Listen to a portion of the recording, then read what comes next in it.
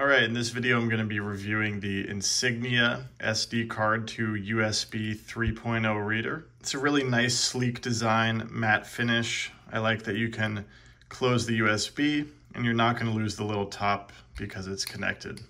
So I use this thing all the time. I've been using it for over a year. You pop your SD card right in there. If you use micro SD, it's also got a space directly for that. Then you just plug it into your computer I'm gonna go ahead and do that on my Mac Mini. And I'm even gonna show you guys how fast this will transfer.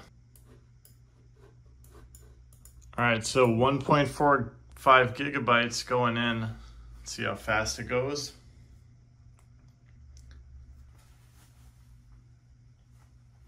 There we go. Really just a few seconds, probably under 30 seconds for 1.4 gigabytes. So it's pretty fast. This is very reliable. I've had it for a long time. I highly recommend it.